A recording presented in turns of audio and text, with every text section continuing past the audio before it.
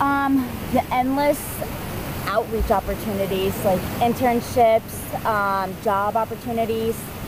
We can do um, like the outdoor activities center. I just learned I can get scuba certified way less than like hundreds of dollars less. So I'm actually doing that um, next month. Huge opportunity for me. Um, UCF has everything.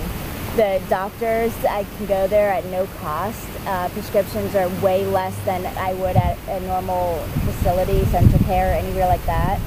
Um, eyeglasses, haircuts. I can get my haircut right down the road.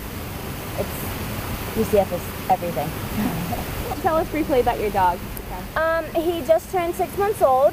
He is uh, puppy in training with Canine Companions for Independence, and um, he's part lab, part golden. His name is Aslan, and Canine Companions for Independence is based out of California, but they do have a facility here in Orlando. And um, we hope we'll turn him in at 18 months of age, and we hope he'll go on to graduate as a some sort of an assistance dog. So he's still in training. He's still learning. But this is our second puppy.